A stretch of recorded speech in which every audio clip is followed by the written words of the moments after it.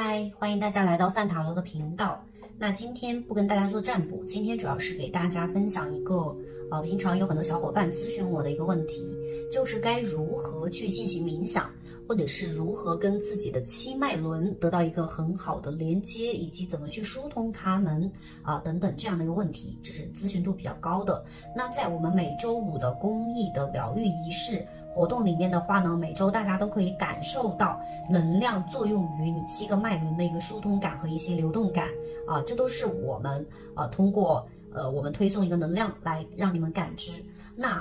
如何通过自己的力量和通过方法来让自己感知到脉轮的一些运行情况和疏通它们呢？那今天主要就是为大家介绍七个脉轮的一个。嗯，相应的手印和语音冥想啊，以此来打开你这个受阻的脉轮，完成你这个身心修复。因为脉轮它其实是人体的一个生命的钥匙啊，沟通着物质和灵性，是生命力的一个相对来说比较核心的部分。那脉轮打通的话，并且处于一个开放的状态的话，生命机能它是运行比较正常的一个情况。但是当脉轮受阻，身体就会出现与之对应的一些病症了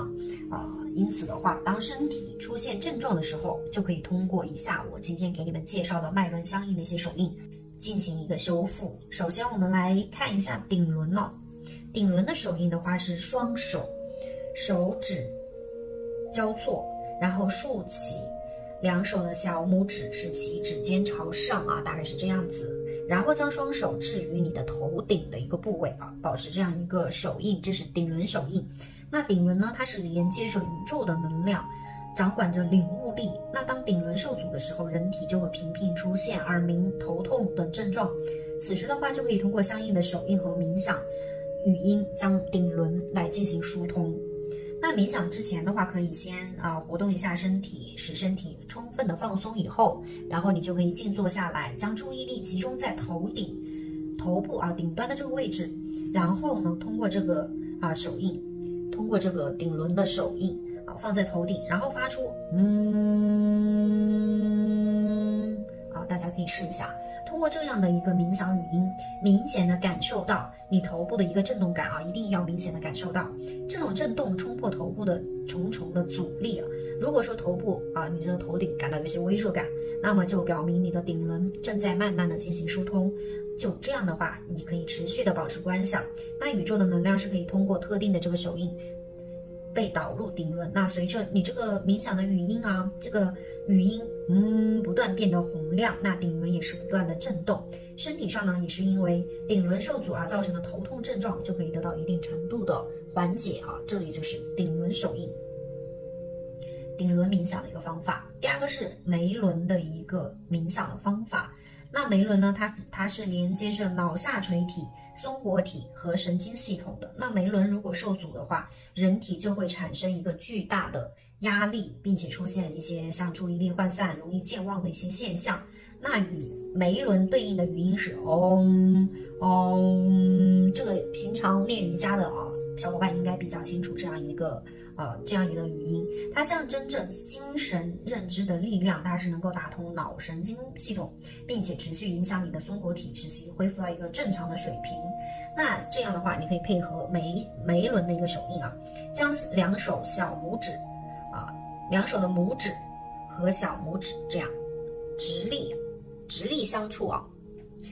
然后指向眉心，将两手的其他手指在指节处啊弯曲，并且两两相触啊。这样的话，这样对着你的眉心，这样可以看到吗？啊，这样对着你的眉心，然后通过嗡啊这个手印与。你你这个手印要与语音是同步一个进行的，并且同时观想念诵语音的时候的气流是冲击开眉轮后啊，眉轮处它是有如漩涡般的能量在盘旋，可以专注在这个漩涡的能量上进行数次的一个深呼吸。那这个你可以观想啊，这个漩涡在眉轮处是不断的一个扩大的，你的自身的专注力持续的时间越长，那你这个冥想的效果就会越好啊。这是眉轮。那我们来到喉轮，喉轮呢，它是身心能量一个中枢站，是人性向神性提升的一个连接点。那喉咙受阻的话，人体就很容易出现一个咽喉肿痛的问题，同时可能还会出现无法与人沟通、没有表达自我的情况。那这时候的话，就这个喉轮的这个冥想训练是可以在你的清晨醒来后进行。你可以采取一个盘坐的姿势。那冥想前呢，可以先做十次腹式的呼吸啊，然后当精神集中起来的时候。就可以做这个喉轮的一个手印，那将两手拇指相触，其他手指交叉，啊，形成这样一个圆形，然后将这个手印置于你喉轮的底部，啊，大概就保持这样一个喉轮手印。然后呢，呃，当你的这个我前面说的这些事情完成以后啊，当你的精神集中起来的时候，就可以做这个眉喉轮的手印，然后清晰的念出喉轮的冥想语音。好啊，每念一次对应语音，就想象着啊，喉部从一个紧张僵硬的状态中不断的解脱出来。那你的语调是可以从轻微变得强烈响亮。这里我就嗯不念诵了，我怕震到大家的耳朵啊。大家可以自己去念，就是哼哼啊，这个我就是比较小声的来告诉大家读一下。然后呢，这个语调是可以从强烈变成响亮啊。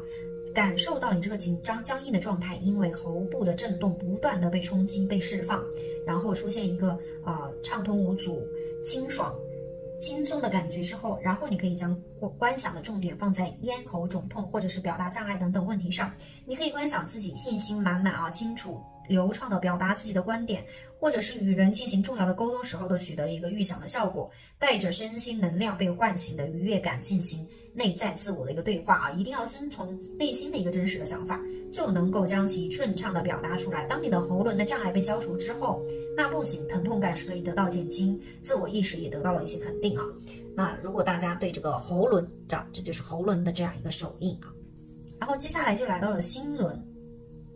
心轮的话呢，它是掌管着爱与身心成长的。啊，这样的一个心轮，那当它受阻的时候，身体就会出现明显的一一些呼吸不畅啊、胸口疼痛、肌肉酸痛等等症状。那要消除这些症状的话，首先要修复心轮的一个能量啊，依然是可以采取盘坐式，轻声诵念与心轮相应对应的语音啊，然后做一个心轮的手印，啊，右手的食指和拇指相触，大概是这样子啊，其他的手指的话啊，形成一个圆，放置在。放置在你的胸部啊，左胸处啊，左手放松搭在右左膝上啊，这样的话你就可以搭在，我只是做一个手印的一个展示，然后配合心轮对应的语音呀，然后尽量延长你的这个声音，诵念的同时的话，做出相应的一个手印啊，观想心轮处被一股强力。猛烈的震动着，犹如就是像电击一般迅速传遍全身，但最终这股力量又是重新汇聚在心轮处。那你身体的酸痛感减轻，就是心轮能量修复完毕的一个标志。所以说这一项冥想训练它是没有时间长短的一个限制的，而是根据你身体的一个反应来进行判断的啊，这就是你这个心轮的一个冥想的步骤。然后我们来到一个太阳轮。太阳神经它是主宰着人体的一个意志力和行动力。那当太阳轮能力不足的时候，就会出现持续性的胃痛、胃酸等等啊，这种胃部的一个疾病。你是可以静坐下来啊，放松全身，然后做这个太阳轮的手印啊，双手合十，指尖向外，那两拇指相互交叠啊，这个样子。然后把这个手印置于你胃部的下方。做好这个手印以后，轻念与之相对应的冥想语音，嗡啊，同时观想自己身处阳光中，这个阳光是照射在你这个太阳轮处啊，通过语音的震动，太阳轮已经打开，并且不断的接收能量。如果说这时候你的胃部出现一个灼热的感觉，那就说明太阳轮的冥想疗愈已经开始产生效果。下一步就是持续的诵念我刚刚之前啊念的这个余音，使太阳轮始终处在一个接收能量的一个状态中。那待你的这个情绪彻底的安定的时候，那这项训练就可以结束了。最后我们来到啊，然后接下来我们来到脐轮。